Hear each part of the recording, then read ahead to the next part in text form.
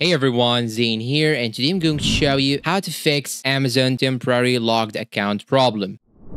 Now, first thing you should do is to simply open the Google or even any browser that you are using. And first thing you need to do is to simply wait 24 hours or 48 hours till this temporary lock is unlocked to you because it is a temporary lock. So you can simply just wait for one or two days. But let's say that you have waited and the issue didn't fix. In this case, we need to contact the support. So to do so, you just have to type here in the search bar Amazon support. Then it will show you this page you should first click on this link and now you will see multiple options. The first option you should choose is the account settings because you have this issue with your account. We don't have to sign in. You just have to click on this button need help. Then after clicking on need help, it will show you these two options. Just click on other issues with sign in. Now once you click on it, it will show you this page and here you have the selection of the issue. You can select any type of issue but here in our case, I cannot sign in to my account. So I'm going to choose it. Then it will show you this window right here. And now you can simply try the solutions that they offer you. Why can't log in into my account? You can simply click on it and see exactly why you cannot log in, see all the issues, or you can simply also check if you need to reset your password. And this might also help. But let's say that you also have the same issue despite using this method by resetting your password. In this case, you will now have to contact with them directly. You can do that by simply calling them on the hotline. And this actually depends on your country country or depends on where you are right now or even which country you are choosing in Amazon. In my case, I choose Egypt. So here, this number is just for Egypt. It is the hotline for Egypt. So according to which country you are in, it will show you a different number. And that is the important thing that you should know. And after you talk with them, in some cases, they may even call you back and you can discuss with them your problem. Then they will fix your problem as soon as possible without any issues. Just don't panic and your problem will be solved.